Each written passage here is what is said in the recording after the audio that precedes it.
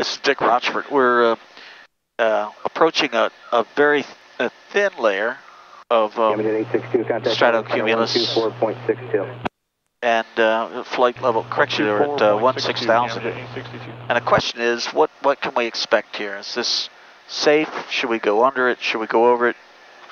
Uh, you know, experience tells us that uh, clouds are at the top of the uh, the rough areas typically, and that if we went above, uh, we'd certainly have smoother air. Uh, these uh, these clouds are not producing any rain. We can tell that without the radar as we're looking out the window. Uh, so we can expect bumps, uh, nothing more than light to moderate, I would expect. Um, we have uh, light winds today, so I'm confident that this is a good course. Outside air temperature is minus six, uh, so it could be we get some ice uh, in this layer here, although I don't think so. However, consistent with the doctrine that uh, uh, we're operating by, we're going to open the alternate air. And the reason is, is that in the PA-46 Mirage, this is an M350, um, we need that alternate air opened anytime we're in the presence of visible moisture. And the doctrine that, that I'm suggesting to you is anytime you've opened that alternate air, consider not closing it until you're absolutely certain there's no ice remaining in the plenum. The plenum meaning that area behind the filter um, and in front of the turbochargers. Any ice that gets rattled off of that uh, back of that filter will encounter the turbocharger blades and could cause damage, maybe even engine uh, failure. So we want to be very careful with closing the alternate air once it's open.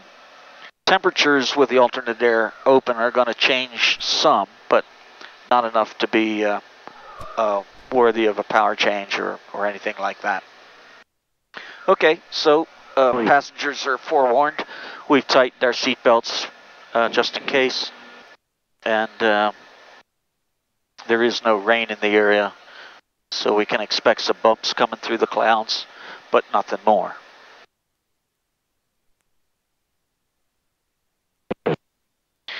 And if it gets bumpy beyond our um, our interest, then we're going to slow by bringing the power to 23 inches, which will give us, uh,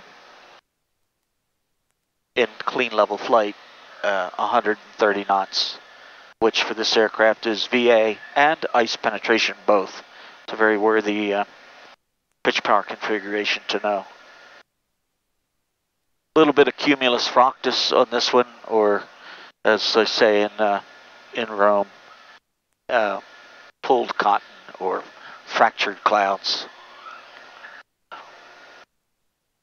So what we have here is uh, maybe some light turbulence. I would call it continuous light so far. Uh, not too brisient. Light meaning that nothing flies around in the cockpit or falls on the floor. But if headsets are coming off and uh, things are jumping around, then we've got moderate. And if we can't control the airplane, we have severe turbulence. Big difference. Obviously, if you're given a report, you have to give your aircraft type. Um, a 737 reporting moderate turbulence. Uh, uh, PA-46 should avoid that area. This is, in general, a very good day.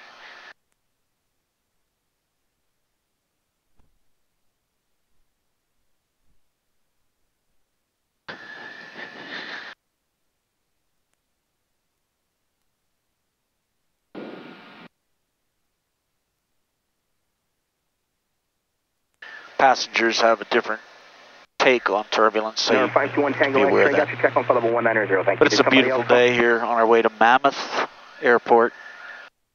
This is Dick 732 Rochfort. Golf Hotel, the Bishop Altimeter 3005. Fly safely. 3005, uh, Train 732 off. Golf Hotel.